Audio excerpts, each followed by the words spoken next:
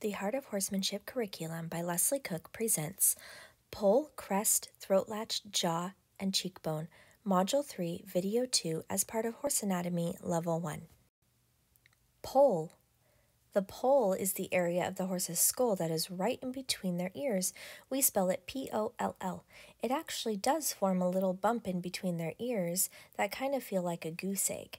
Since the horse's head is often held higher than their body and the poll is at the top of their heads, I like to remember this anatomy part by thinking of the North Pole on our Earth. The pole is at the top. Here, this kid is putting the halter strap over the horse's poll behind the ears. The height the horse carries their poll is important to reading their body language and also in technicalities of horseback riding. You'll learn a lot more about that in all of our horse training videos and horse language level 1. In review, the poll, P-O-L-L, of the horse is the area at the top of their head and neck going between the ears. Crest.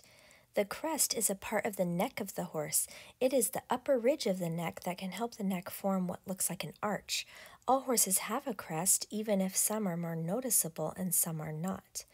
The crest can be used to help assess the body condition and health of each horse, but this takes a professional eye to assess the whole horse. A horse with a large fatty crest, like the horse in front here, Callie, is generally said to be obese and unhealthy. We have had to curb off laminitis with her and also manage her thyroid levels, but she is in perfect health in these videos and we know how to keep her that way. The crest alone cannot tell you about the whole health of a horse, but it can be helpful. When a wave does this, the top of the wave is called the crest. You can see how the crest of the wave is similar to how the horse's neck can curve over and down, the crest helping make that beautiful arch. Review the crest is the top ridge of the neck. It lends to the shape of a horse's neck. In most cases, but not all, it can help you understand the weight and body condition of the horse. Throat latch. The throat latch is the throat of the horse. It latches the neck to the head. The horse's throat latch can extend and contract quite a good distance. The windpipe travels through the throat latch. Horses can get swollen glands like we can in our throats, and they would appear here. The throat latch is right behind the round cheeks of the horse. The name throat latch is also a part of a horse's bridle. It is the strap that goes underneath the cheeks. You can remember that for when you learn bridle anatomy in Level 2 curriculum materials. Jaw. The jawbone is very long on the horse, going from the front of the cheek to the chin. The entire jaw does not have teeth growing from it like our jaws do.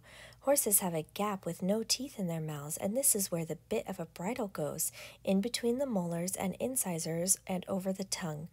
The horse's lower jaw moves in a circular motion to grind their food. Here is Sassy shamelessly chewing her huge mouthful of yummy grass. Watch her lower jaw move in a circular motion.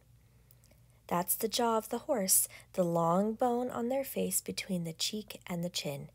Cheekbones.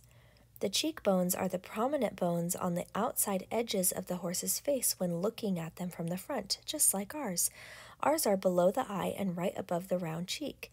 You can see the cheekbones on the horse from the side of their faces as well. There it is on the top of the round cheek and below the eye. Knowing the cheekbone is important for when you learn how to fit halters and bridles to the horse's face. Great job learning five more horse anatomy names. You learned poll, crest, throat latch, jaw, and cheekbone. Make sure to look for our quizzes and ways to earn certificates and pins by showing us your knowledge. Also, check out our curriculum activity box for horse anatomy. See you in the next video.